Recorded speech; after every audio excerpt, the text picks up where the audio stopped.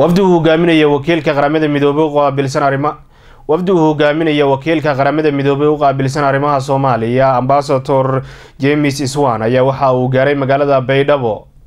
warkan waxaa magaalada baydhabo ka soo diray wariyahayaga maxamed cabdiraxmaan cabdulle. Madaxweynaha dowlad goboleedka koonfur galbeed cabdicasiis xasan maxamed laftagareen ayaa madaxtooyada magaalada baydhabo kulan kula qaatay wafdi uu hogaaminayo wakiilka xogeeyaha guud ee qaramada midoobey u qaabilsan arrimaha soomaaliya master james swan iyo sidoo kaleeto wakiilada midooda afrika ee u qaabilsan arrimaha soomaaliya iyo diblomaasiyiin kale. Kulanka madaxweynaha iyo saaxiibada beesha caalamka ee soomaaliya ayaa looga hadlay arrimaha doorashooyinka amniga iyo sidii loo dardargelin lahaa doorashooyinka xubnaha aqalka hoose ee baarlamaanka soomaaliya laga soo dooranayo deegaanada koonfur galbeed soomaaliya. Cabdicasiis xasan maxamed laftagareen ayaa kulanka markuu soo dhammaaday waxa uu warfidyeennada kala hadlay waxyaabihii ugu muhiimsanaa ay asiga iyo wakiilada beesha caalamka ka wada hadleen intii kulankoodu ka socday magaalada baydhabo. Maanta waxaa noo yimid wafdi ballaaran oo hogaaminayo wakiilka xogayaha guud ee qaramada midoobey mr james swan safiirka european union safiirka african union iyo safiirka norway norway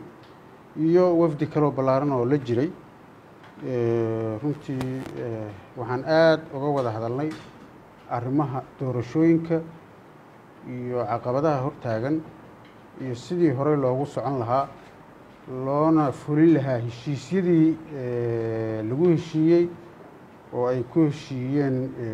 madasha qaranka iyo habraacyadii la soo diyaariyey sidii loo fulin lahaa. Ugu dambeynna waktiga jadwalka uu ku qornaa oo guddiga fiid ay soo saareen ugu dambeeyey loo bilaabi lahaa maadaama doorashadii upper house aqalkii sare ay dhammaatay gebagebe ay tahay isteedyada ay soo gebagabeeyeen inta kaloo yaroo hartayna waktigooda lagu dhammayn doono si loo bilaabo tii aqalkii hoose iyo qaabkii loogu diyaar garoobay ayaan aada uga wada hadalnay.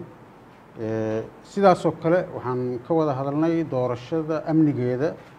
iyo security-ga doorashada sidii uu noqonayo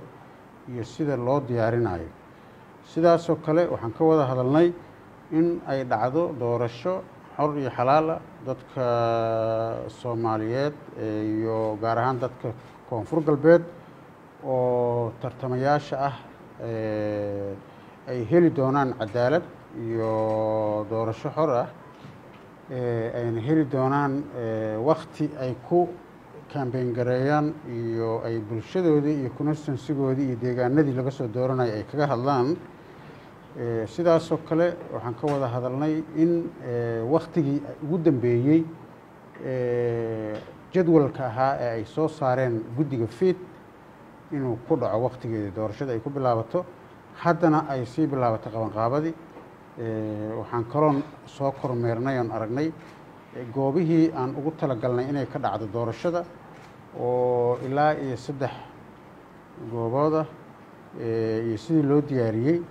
iyo sida ay u diyaar garoobeen kulanka waxaa qeyb ka ah guddiga seat south west sida ay ugu diyaar garoobeen iyo goobihii ay diyaariyeen iyo xafiisyadoodii iyo qalabyadii oo hadda u imaan doonto sidii loo dhammaystiri lahaa. Arrimahaasaan ka wada hadalnay si aada iyo aada u fiican yaan iskaga fahanay arrinta amniga sidaasoo kale iyo qeybaha ka qeyb noqonaya ee sidii loo horumarin lahaa intaba waa isku fahanay maxamed cabdiraxmaan cabdulle soomaali cable t v magaalada baydhabo